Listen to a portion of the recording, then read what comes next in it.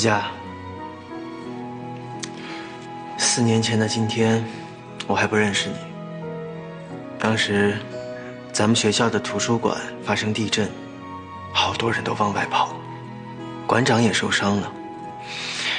我就记得啊，他一个人坐在门口哭，说好多珍贵的资料还没来得及往外搬。这个时候呢，我就看见有一个女孩和我一起，一趟一趟的从资料室里边往外搬资料，最后终于把所有的资料都搬出来了。我呀，坐在操场上。一大堆资料的中间，正好，这个女孩就坐在我对面。她满身都是灰，我甚至都看不清楚她长什么样。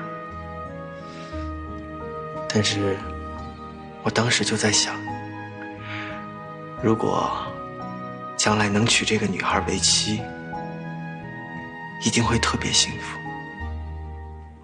将来不管遇到任何困难，任何挫折，他一定都不会抛弃我。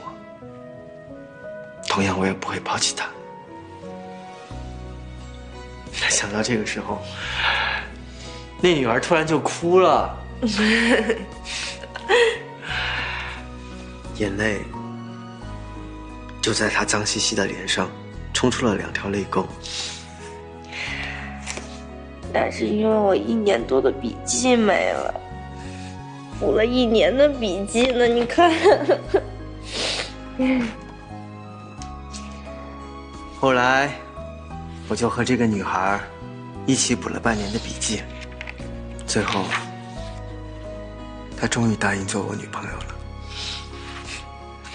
这多亏这本笔记本呀，是她给了我机会。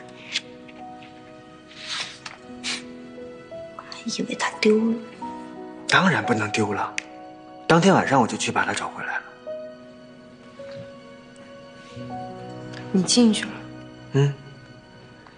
当时余生那么厉害，会死人的。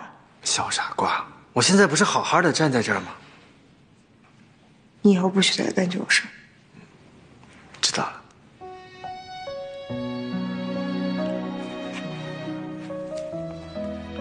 佳佳。当时我其实是和搜救员一起进去的，确实晃得很厉害。但是你不是告诉过我吗？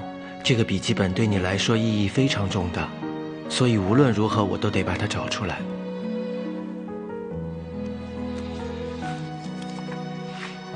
是因为这个，这是我妈画的，当时我妈我爸。我们一家三口都还没有分开。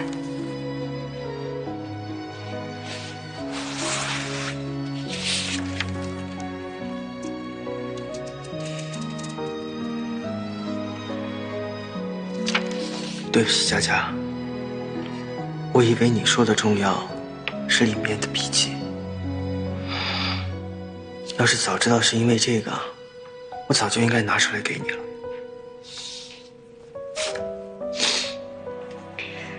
宝贝，失而复得，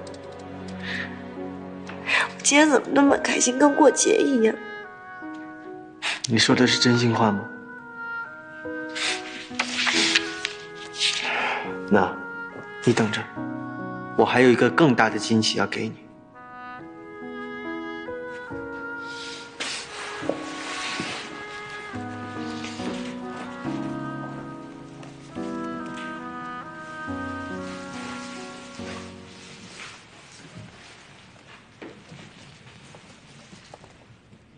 离开你的每一天，恍若过了一光年。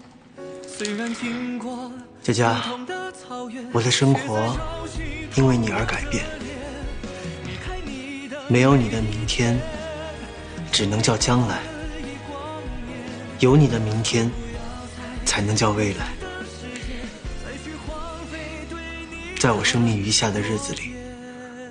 我愿意永远守着你，爱着你，佳佳，你愿意嫁给我吗？诺言。